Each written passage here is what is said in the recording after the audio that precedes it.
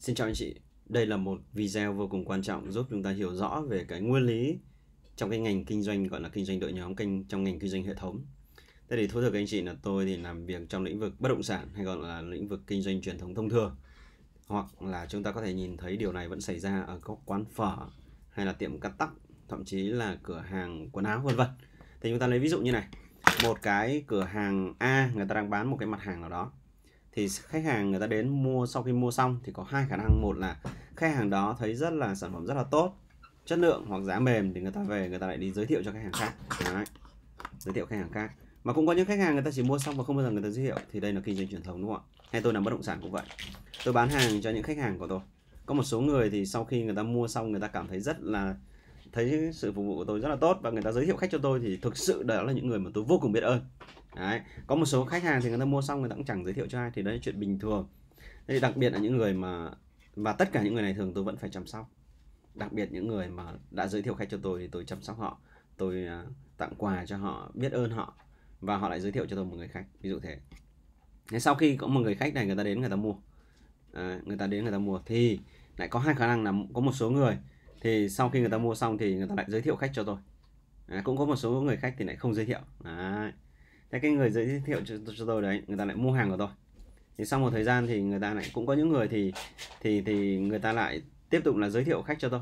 Đấy, giới thiệu khách cho tôi và có người mua. Cũng có người thì người ta lại không giới thiệu. Đấy. thì đây là lĩnh vực kinh doanh truyền thống chúng ta có thể hình dung là bất kỳ một cái sản phẩm nào ở thị trường khách hàng đến mua thì luôn có hai khả năng là một là người ta khách hàng đó mua xong người ta lại không đi giới thiệu cho ai cả không giới thiệu khách giúp mình. Hai là người ta lại giới thiệu khách giúp.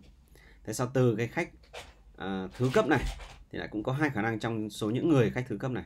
Thì có một số người thì lại đi giới thiệu khách hộ mình còn và một số khách thứ cấp đó không đi giới thiệu hộ mình. Rồi lại tiếp tục tiếp tục tiếp tục. Thì đây là lĩnh vực kinh doanh truyền thống đúng không chúng ta có một tiệm phở. Có những khách người ta giới thiệu có những khách không giới thiệu. Và trong số những khách giới thiệu đấy thì ra những khách mới thì cũng có những khách mới lại tiếp tục giới thiệu hộ và có những khách mới thì không giới thiệu hộ. Và cứ vậy cứ vậy. Thế thì à, à, trong kinh doanh truyền thống là như thế. Và nếu như có một cái à, một cái công ty một cái chính sách service tốt phục vụ khách hàng tốt ấy thường thường người ta rất là chăm sóc khách hàng. Kể cả những người không giới thiệu sau một thời gian lại thành giới thiệu khách hàng giúp. Và thú thực là tôi làm trong lĩnh vực bất động sản thì chúng tôi ao ước làm sao đó khách hàng giới thiệu khách hàng cho mình thì đấy là một cái điều tuyệt vời nhất. À, đấy là điều tuyệt vời nhất. Và à, kinh doanh truyền thống cũng có điều đấy. Tuy nhiên họ chưa làm được hoàn hảo. Tức là gì? Họ chưa có những chính sách à, chăm sóc khách hàng để đến mức khách hàng xúc động và khách hàng phải đi tìm khách hộ mình. À, chưa làm được điều đấy. Hoặc là chỉ một số đơn vị làm được một số dòng sản phẩm làm được. Thế thì tôi đưa ra một cái triết lý đưa ra một cái lý thuyết gọi là kinh doanh truyền thống hoàn hảo là như thế nào. Thì đây nếu như một cái sản phẩm hay một cái cửa hàng A được bán ra hay là một cái cá nhân bán bất động sản A bán ra cho khách hàng và tất cả các khách hàng đều được nhận một cái lợi ích nào đó.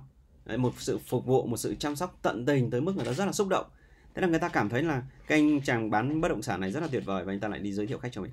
Đấy, người ta lại giới thiệu khách cho mình. Và trong số những người khách được giới thiệu ra thì ai cũng lại đi giới thiệu khách giúp mình giúp mình giúp mình. Như vậy thì rõ ràng rõ ràng bằng một cái chính sách chăm sóc khách hàng thì tất cả khách hàng lại giới thiệu khách cho mình. Thì sau một thời gian chúng ta có một lượng khách rất là đông.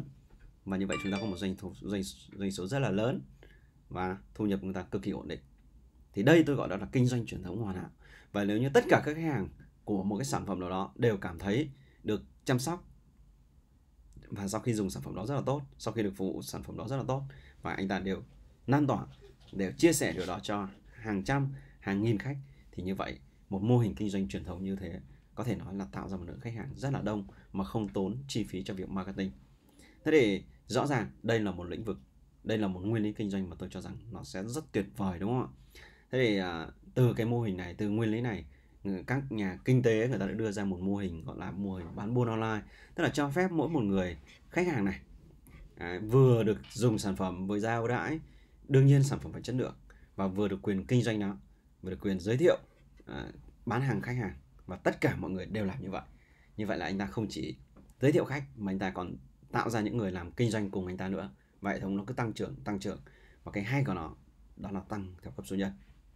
Thế để tăng theo cấp số nhân thì nó hay như thế nào? Đây lại là một bí mật, gọi là rất giá trị mà khi tôi phát hiện ra thì tôi cũng rất là sốc.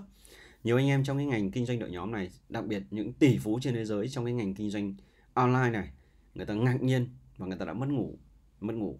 Vì người ta cảm thấy rằng có một cái hệ thống kinh doanh, có một cái cơ hội, một cái mô hình kinh doanh có thể tạo ra một doanh số khổng lồ chỉ bằng việc dùng một chút bán một chút. Dùng một chút kem đánh răng omega 3 chất xơ. Đấy, bán một chút kem đánh răng omega 3 chất xơ.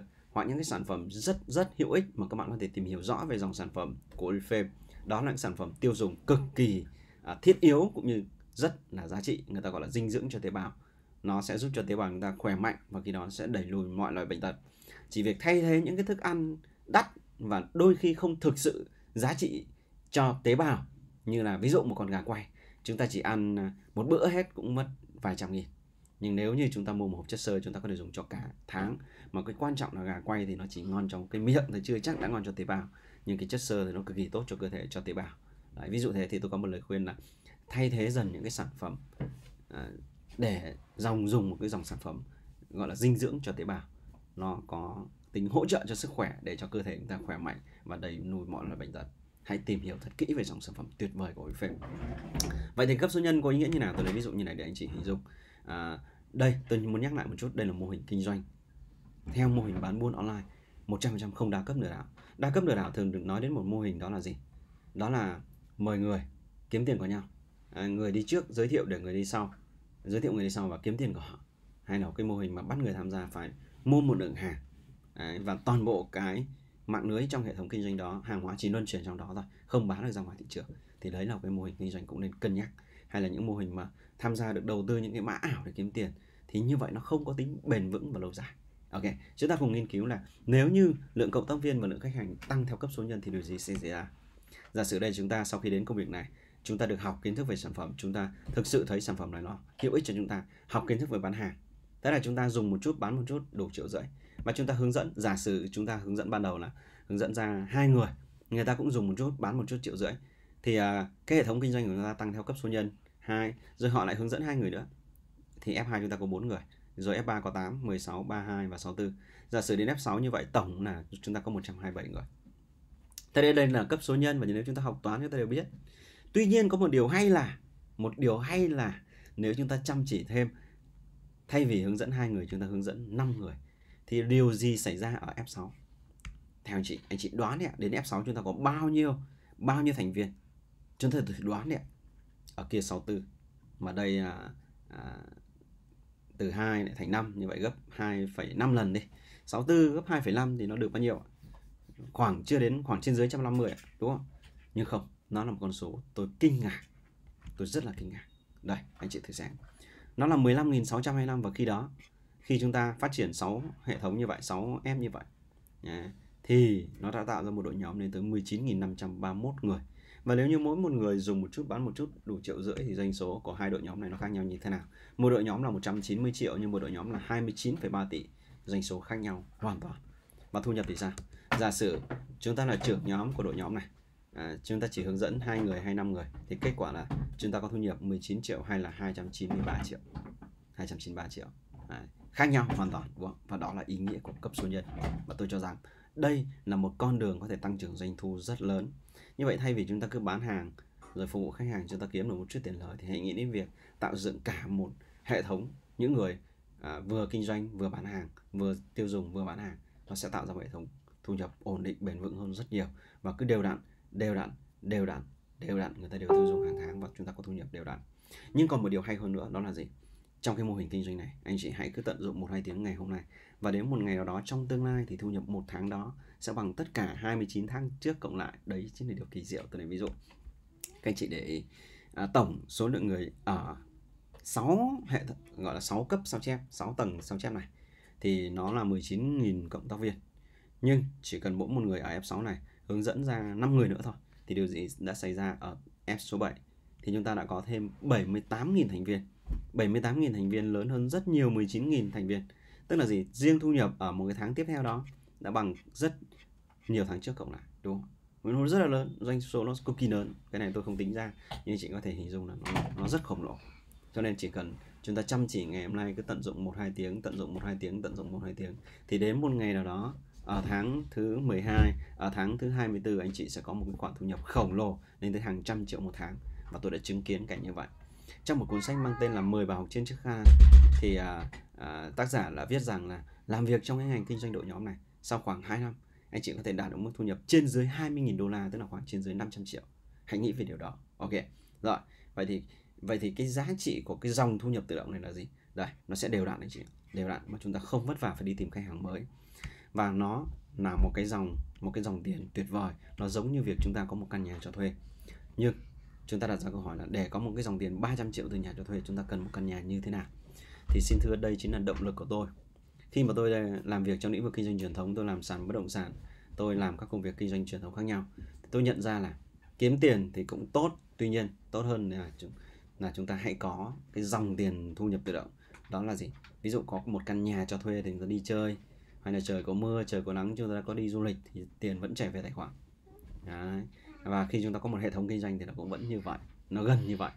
Thế thì ờ, và lúc đó tôi có một động lực để kiếm 300 triệu dòng tiền. Và đặt lên bàn cân tôi muốn kiếm 300 triệu dòng tiền có hai lựa chọn. Một là tôi có một căn nhà cho thuê. Và để có một căn nhà cho thuê với dòng tiền 300 triệu lợi nhuận nhà cho thuê là 3 đến 5 phần trăm. Vậy thì muốn có dòng tiền 300 triệu một tháng hay 3,6 tỷ một năm đồng nghĩa việc tôi cần có một căn nhà 100 tỷ.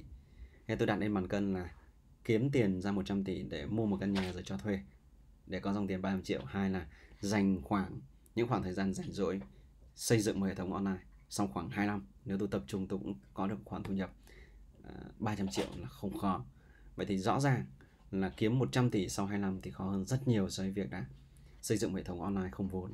Đặc biệt với anh chị không vốn đặc biệt với anh chị còn rất là trẻ đặc biệt với anh chị ở vùng quê nông thôn hoặc những người không được thừa kế một cái tài sản cách xù. Và ngoài ra nó còn một cái giá trị rất lớn đó là giá trị đóng góp giúp đỡ người khác đóng góp vào cộng đồng, thì đó chính là ý nghĩa của kinh doanh hệ thống. Và tôi vô cùng yêu mến cái mô hình kinh doanh này. Ok.